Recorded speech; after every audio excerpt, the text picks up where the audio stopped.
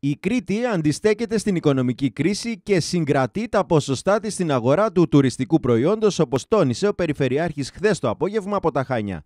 Το νησί έχει σταθερούς επισκέπτες που το επιλέγουν για τις διακοπές και αψηφούν μάλιστα τις φήμες και τις οδηγίες σε διεθνές επίπεδο για τυχόν δυσκολίες στην εξυπηρέτησή τους. Σε επίπεδο Κρήτης είναι τα αποτελέσματα σε ένα θετικό πρόσημο. Όμω περιμέναμε να είχαμε καλύτερο το πρόσημο παρά το ότι είναι θετικό. Where am I from?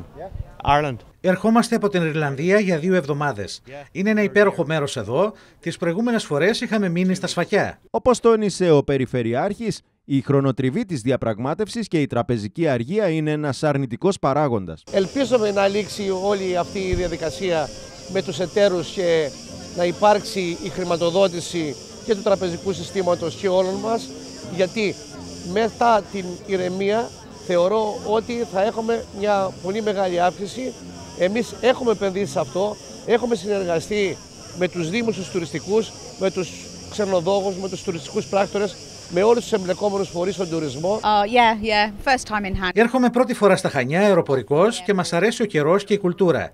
Ενδιαφερόμαστε κυρίως για το φαγητό. Η νοοτροπία μας δεν είναι ίδια με των Ελλήνων, αλλά εδώ χαλαρώνει κανείς. Το σίγουρο είναι πάντως ότι και του χρόνου θα ξανάρθουμε.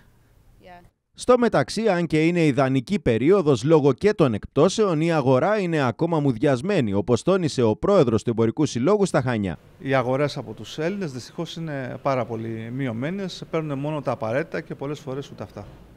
Και οι ξένοι όμως, κατά πώς φαίνεται από την αγορά, στηρίζουν τα δικά τους προϊόντα ακόμα και όταν είναι σε διακοπές.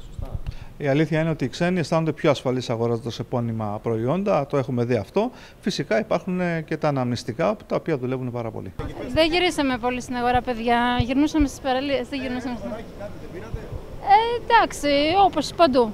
Όπως, όπως και στη Θεσσαλονίκη. Ο έλεγχος της κίνησης κεφαλαίων λειτουργεί ανασταλτικά για τις αγορές και όπως τονίστηκε Όλοι ελπίζουν. Υπάρχει κόσμος στους δρόμους, κοιτάει τις βιτρίνες, κάνει έρευνα αγοράς, όμως ε, στην πλειονότητά τους δεν προχωράνε ακόμα σε μεγάλες αγορές. Σε κάθε περίπτωση όμως υπάρχει μια ανάκαμψη σε σχέση με το προηγούμενο διάστημα, όπου η αγορά είχε κυριολεκτικά νεκρώσει λόγω του capital control και όλης αυτής της ανασφάλειας που υπήρχε στους ε, καταναλωτές.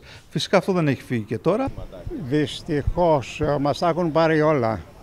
Μας έχουν πάρει και τώρα με τα καινούρια μέτρα μας θα παίρνουν ακόμα περισσότερο. Οι καλοκαιρινές εκπτώσεις ξεκίνησαν τη Δευτέρα 13 Ιουλίου και θα τελειώσουν στις 31 Αυγούστου.